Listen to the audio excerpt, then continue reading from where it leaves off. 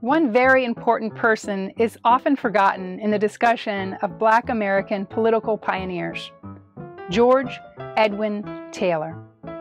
Taylor ran for president in 1904 as the candidate of the National Negro Liberty Party. Born on August 4, 1857, in Little Rock, Arkansas, he was the son of a free African American woman named Amanda Hines and an enslaved man named Nathan Taylor. According to the law of the time, this status enabled him to get an education and enjoy certain freedoms that other people did not enjoy at the time.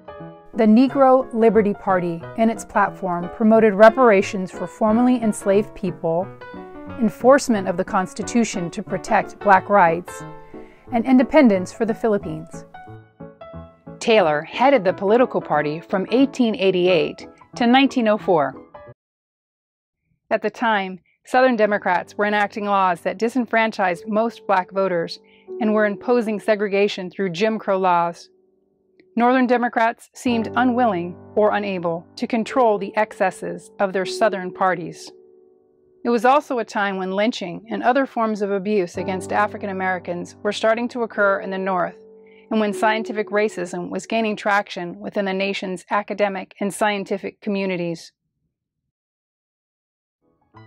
George Edwin Taylor did not win the presidency, but he set the ball in motion for other African Americans to run and win the presidency. His courage to run demonstrated how a person can be born of bondage and still attempt to ascend to the highest office in the land.